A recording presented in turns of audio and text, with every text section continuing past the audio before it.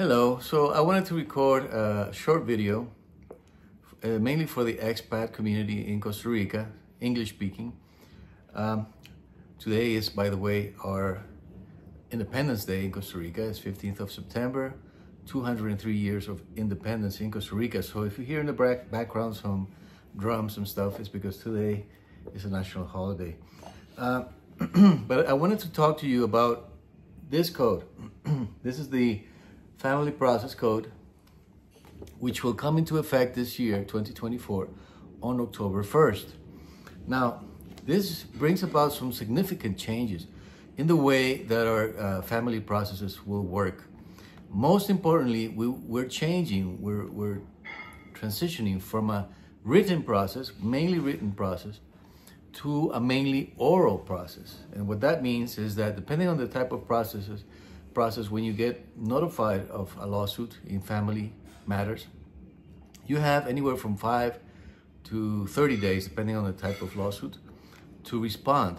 But normally you do that in writing. You hire a lawyer and they, they you sit down with the lawyer and explain, go fact by alleged fact by alleged fact, answering each of those facts, and then making a request regarding the, the, the, the lawsuits.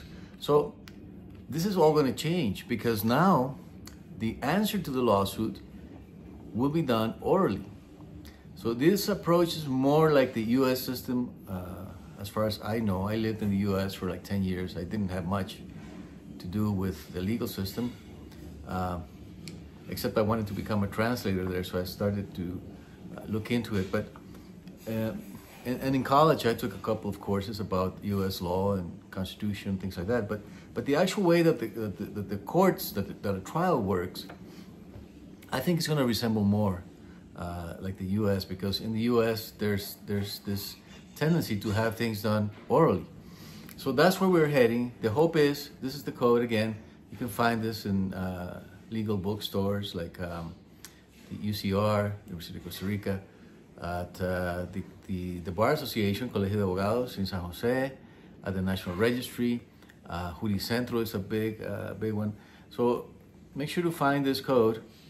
Uh, you may have it as a reference. Uh, and also make sure that when you have a legal problem involving family matters, that you hire a lawyer with experience. It's very important.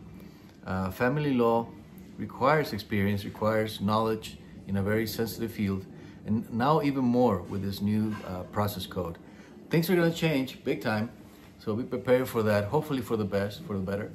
Um, but we'll see. We'll see over time. Some in some uh, cases where orality has been introduced, like uh, labor law uh, and some other fields. In the very beginning stages, there you, you see that that processes tend to speed up. But then as you uh, progress, then the agendas of the of the courts get filled up, and then you have to wait a long time for a hearing. That's the that's the problem. That's what some people are foreseeing that might happen also with this family uh, process code because we have a lot of cases. Like family courts are really really saturated with cases. There will be a transition to this new code, and hopefully the uh, speeding up of, of, processes will not be just a temporary thing and it'll be maintained over time, but that's going to require lots of work from everybody involved. Thank you very much.